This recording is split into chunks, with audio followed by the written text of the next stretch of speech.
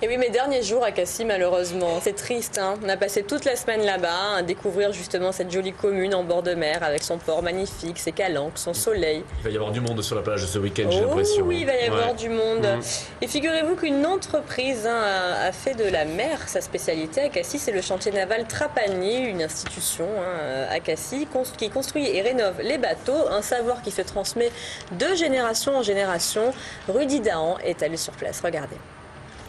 Chez les Trapani, c'est une tradition. De génération en génération, on construit des navires à tel point qu'à Cassis, le chantier naval Trapani est devenu un véritable symbole de la ville. à l'issue d'une exode euh, italienne, je dirais en quelque sorte, ce sont mes arrière-grands-parents qui sont partis de Sicile, qui, sont, qui ont fait escale à, à Naples et qui sont venus ensuite à Marseille. Et bien entendu, il y avait un travail très important pour les charpentiers de marine qui ont pu euh, euh, entretenir, réparer et même construire des bateaux en bois. C'est au lendemain de la guerre euh, de euh, 39-45 que mon père, Georges Trapani, est venu s'installer à Cassis.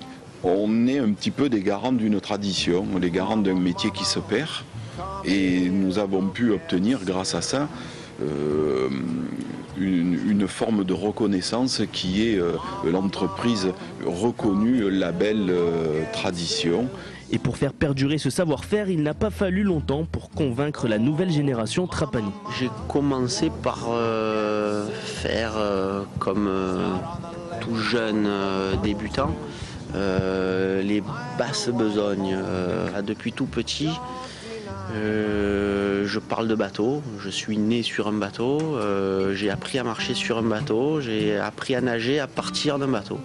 Donc euh, je ne pouvais pas envisager de faire autre chose. Une tradition ancrée dans la ville de Cassis et cela certainement pour les générations à venir.